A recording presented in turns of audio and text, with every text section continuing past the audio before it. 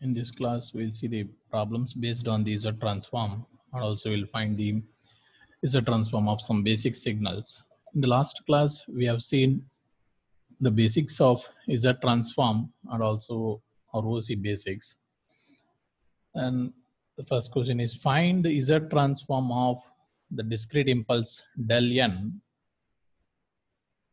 solution. We know that Z transform formula x of Z is equal to summation n minus infinite to plus infinite x of n Z power minus n. Here in this problem x of n, the signal is del n. Then x of yes, x of z is equal to summation n minus infinite to plus infinite del n z power minus n.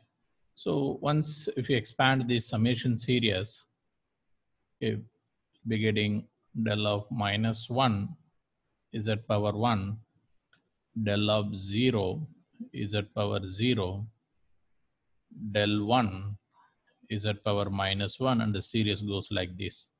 And we know that all these values are 0 because del of minus 1 is 0 and del 1 is 0. We know that del 0 is 1 okay discrete impulse you know that discrete impulse means it will be having value 1 when n is equal to 0 or otherwise the value is 0 so now the del 0 value is 1 again z power 0 is 1 so finally the answer is 1 okay so the z transform of the discrete impulse is 1 z transform of the discrete impulse is 1 so now what is the roc for this? Okay see ultimately we got the z transform x of yes okay again here the x of yes z directly we are getting one without any restriction here. Okay we did not put any restriction here for uh, getting this one. Since simply we have applied in the formula finally we are getting this. So the uh, region of convergence for this is entire z plane. Okay so roc is entire z plane. Entire z plane. Why? Because the expression itself is not having any z. So that's why the ROC is entire Z plane. Okay. In future, uh, we may be having some restrictions for Z. So that time we'll be getting some value for Z. Mod Z may be greater than some value or it may be less than some value. And already we know that uh, whenever the signal, given signal is a finite duration signal, definitely the ROC is the entire Z plane. This concept, we have already seen it in the uh, Laplace transform. Okay, if the given signal is finite duration signal, the ROC is entire Z plane. As the impulse is having a present only at n equal to 0, this is a finite duration signal. So the ROC is entire Z plane. Next question. Find the Z transform of the unit step function. Find the Z transform of unit step function that means discrete discrete step function. So signal x of n is equal to u of n step function. X of z is equal to summation n minus infinite to plus infinite. X of n z power minus n. And we know that uh, u of n means it will be having value 1 okay u of n is having value 1 when n is greater than or equal to 0, 0 when n is less than 0. So, uh, so that means what x of n is having value 0 when n is negative. So that's why we can start the summation series from n is equal to 0. So from n is equal to 0 to infinite, again, uh, this x of n value is always 1. So z power minus n.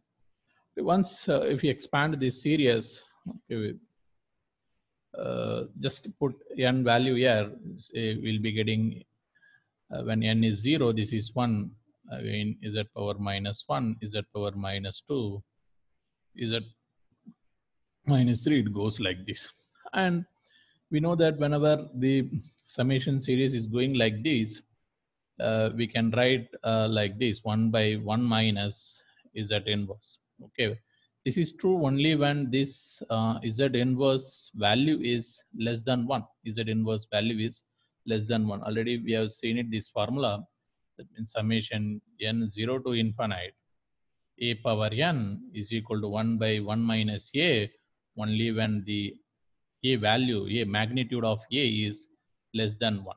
So that means what this series, summation series is converging, okay, it will be uh, converging and it will give you some answer only when this value is at power minus 1, is at power minus 1 is uh, less than 1. So this is valid only when z power minus 1 is less than 1. Okay, here uh, we can write like the summation n 0 to infinite z power minus 1 whole power n. So here z power minus 1 means it's like a. Okay, so uh, when mod z power minus 1 is less than 1, that means what finally uh, x of z is equal to 1 by 1 minus z inverse. Okay, only when z inverse is z inverse value is less than 1 okay what is z inverse? That means 1 by z mod z is less than 1 that means mod z is greater than 1 mod z is greater than 1 and also uh, we can also write like 1 by 1 minus z inverse or otherwise 1 by 1 minus um, 1 by z uh, then z by z minus 1 okay so finally the answer is x of z is equal to either we can write like z by z minus 1 or 1 by 1 minus z inverse. Okay what is the roc here? Roc is mod z greater than 1 and we know that the given signal is the right sided signal. Okay for the right sided signal the roc will be outside the circle. Okay what is mod z is equal to 1 mod z equal to mod z is equal to 1 is the unit circle with the radius 1 so then roc is outside the unit circle. Roc is outside the unit circle this is the radius with radius 1 mod z is equal to 1 so roc is outside the unit circle.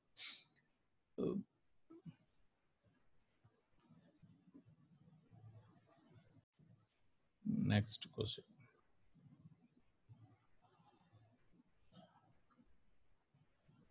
Find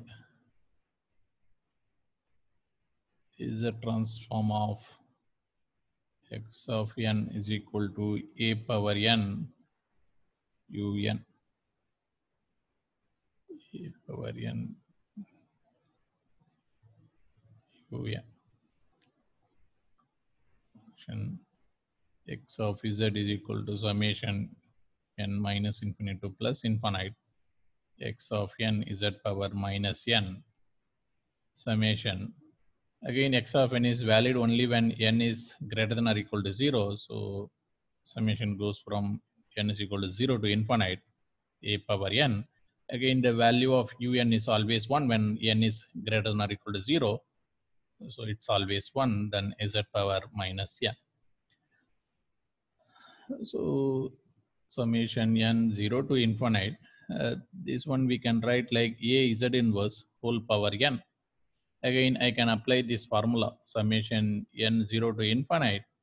A power n is equal to 1 by 1 minus a when mod a is less than 1 so that means i can write like 1 by 1 minus a z inverse. Okay see once if you expand this series you will be getting finally 1 by 1 minus a z inverse. But this is true only when the a z inverse value a z inverse value is less than 1 okay under this condition only we, uh, we can get this uh, final expression that is 1 by 1 minus a z inverse then x of z is equal to 1 by 1 minus a z inverse. Under the condition a z inverse less than 1 okay a z inverse less than 1 so that means what? A by mod z less than 1 that means mod z greater than mod a mod z greater than mod a. Again here 1 by 1 minus a by z then z by z minus a. So finally the Fourier transform is z by z minus a or 1 by 1 minus a z inverse and then ROC ROC is outside the circle with the radius mod A. Okay, what is the ROC? You draw a circle with the radius A, then the region outside the circle is ROC.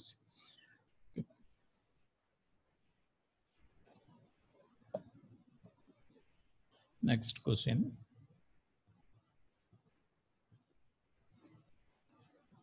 Find Z transform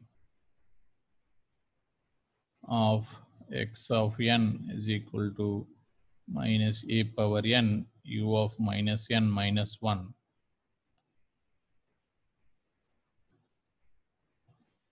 x of z is equal to summation n minus infinite to plus infinite x of n z power minus n.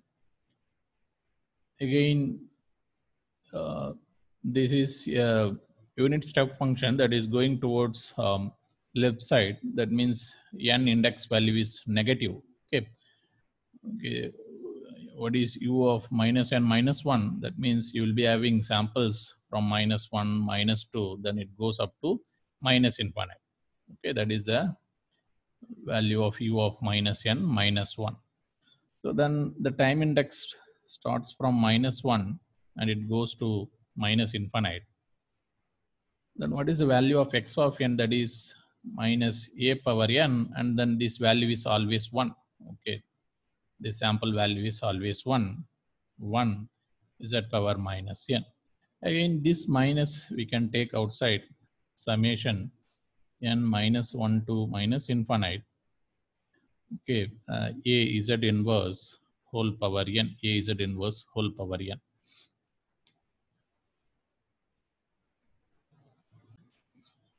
Then the time index, uh, negative time index will change it to positive time index minus again n goes from 1 to infinite. That means what? Wherever n is there, put minus n. Then a z inverse minus n. The minus present here I will absorb inside so that we'll be getting summation n 1 to infinite a inverse z whole power n a inverse z whole power n. So finally minus summation n 1 to infinite a inverse a inverse z whole power n. In general, when we apply the summation series, actually the n will start from 0, but it is starting from 1. Directly also we can apply formula. Already formulas are there like a into uh, 1 minus r power n divided by 1 minus r formula. Okay, you, you can also apply this formula, finally you can get the answer. Or otherwise uh, we can do like this also. I mean, you just start from n is equal to 0 okay if n is equal to 0 is present what you will be getting? Okay n 0 will be substituting here then anything power 0 is 1 you will be getting one 1 extra. So that extra one i will subtract from here okay so now we can write like this. Okay the same thing we can modify like this.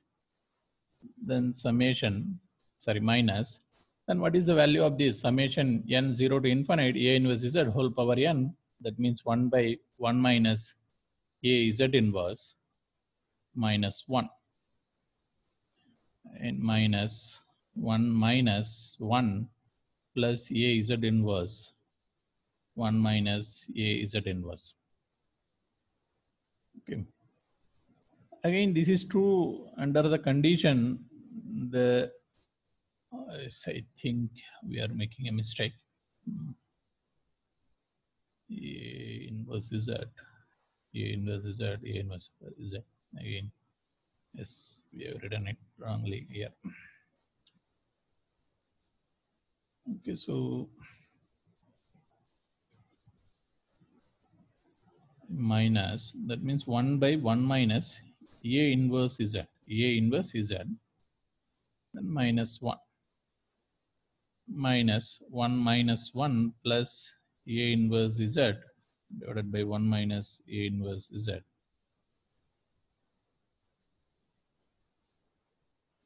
Okay, uh, this is true only when A inverse Z value is less than 1, less than 1.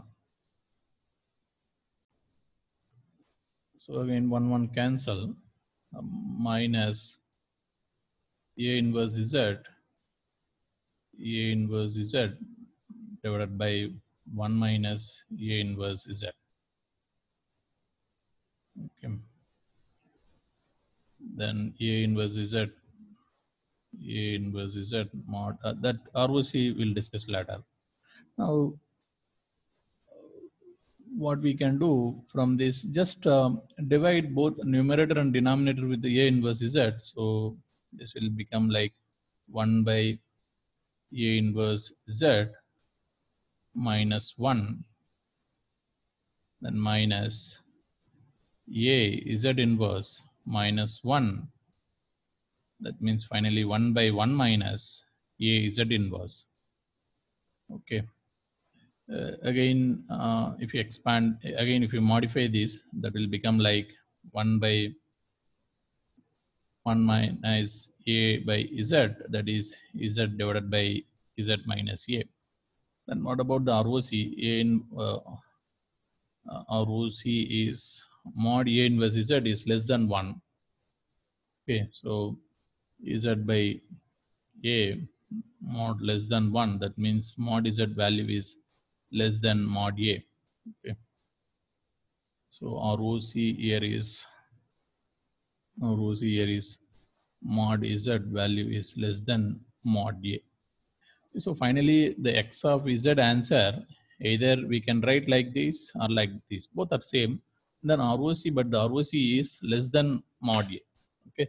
So now if you observe here the given signal is a left-sided signal, non-causal signal anti-causal signal, then if it is a left-sided, then ROC will be definitely inside the circle.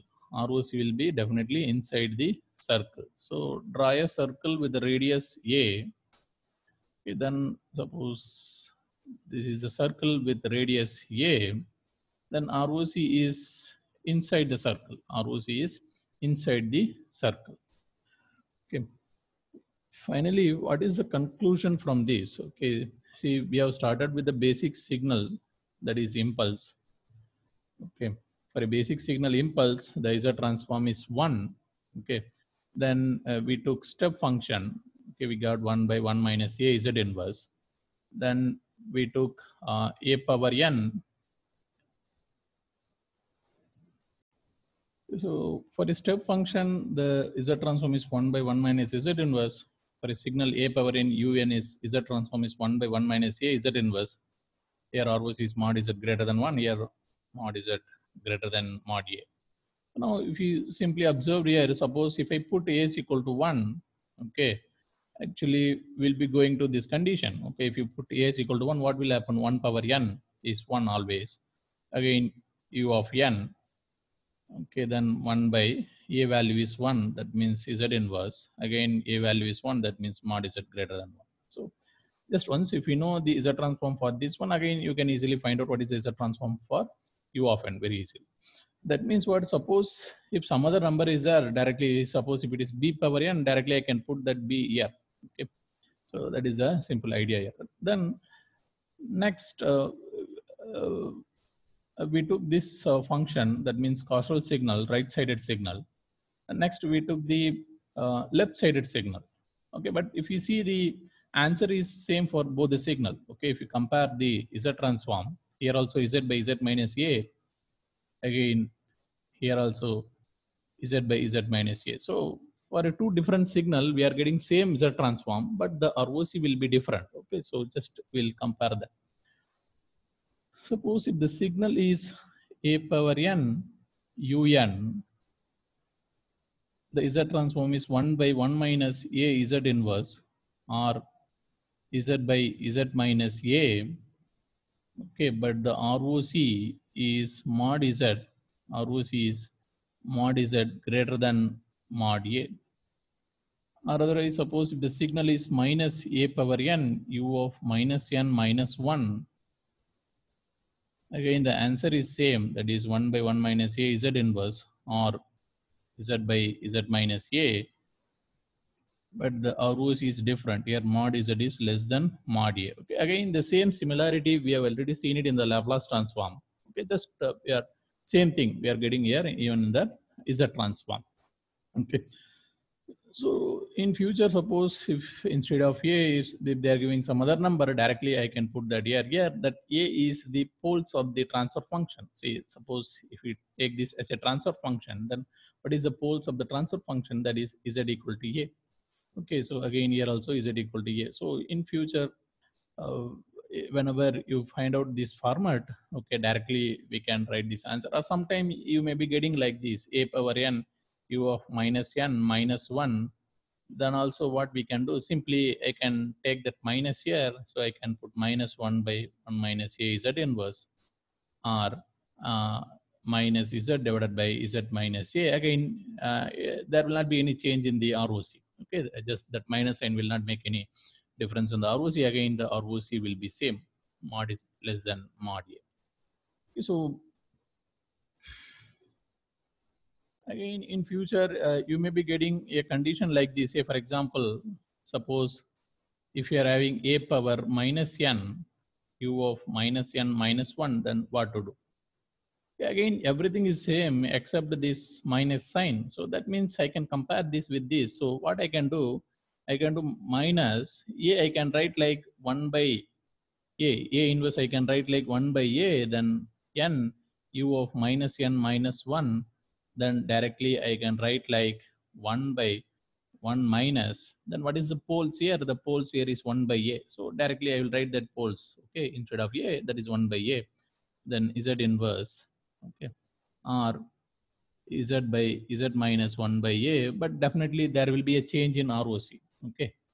ROC, uh, again, there will be some change in ROC according to that. ROC, there will be change in ROC change in ROC. So we'll be getting this kind of condition when we solve the further problems. Okay. So just uh, try to understand these two concepts clearly. Okay. Uh, two different signal. This is the causal signal. This is the anti-causal signal. Answer is same. Z transform is same, but the ROC is different. Okay. Thank you.